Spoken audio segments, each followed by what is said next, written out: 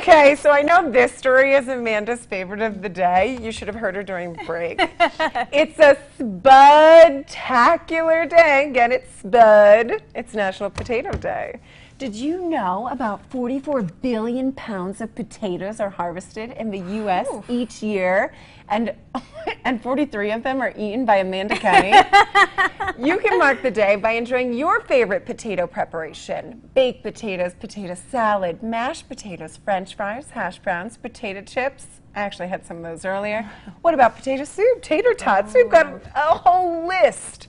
And apparently, you can hashtag it today and say like National Potato Day. Mm-hmm. Not only are they good for you, they're well. Not only do they taste amazing, they're actually really good for you, which I never knew because I thought you know carbs. Yeah, I always But they as- apparently have vitamins and minerals like vitamin C, potassium, mm. and iron. Wow. And So it's okay to eat potatoes. yes. What about the skin? Do you eat the skin? Yes, that's like mm. that's what makes a potato, right? Yes. I don't hate it if I if my French fries if I see the skin on them, like that's good to go. Yeah. I only like the skin though when they're baked because it gets kind of Oh, crispy. okay. I don't really want that in my mashed potatoes. Oh, yeah, that doesn't bother me so much.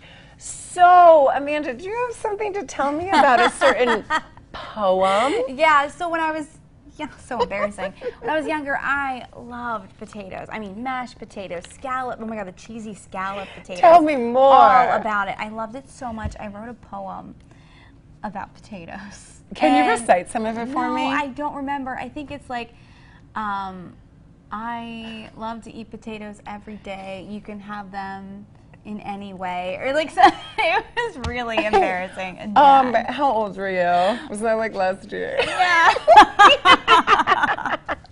But they're great. The potatoes are I, amazing. I agree. You know what? I would write that poem. Thanks. I'd write it today for Potato. Day, right? so we actually reached out to our loyal Central PA Live fans and asked them to share their favorite potato recipes. So if you want to see that, you just have to go to our Facebook page, Central PA Live. But look, this one is from Kristen Dodson Thomas for cheesy crock pot hash brown potatoes. Doesn't that sound amazing? Mm.